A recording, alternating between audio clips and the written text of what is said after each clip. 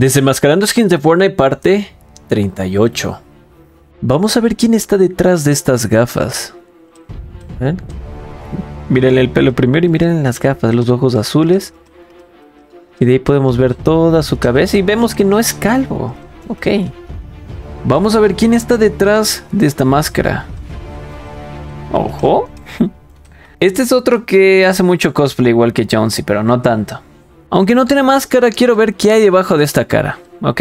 La del panita Gref. Vamos a ver qué tiene. Miren, ya lo hicimos calvo. Y aquí abajo está... Lamentablemente sí. Like si opinas lo mismo. Vamos a ver quién está detrás de esta máscara de serpiente, miren. A ver.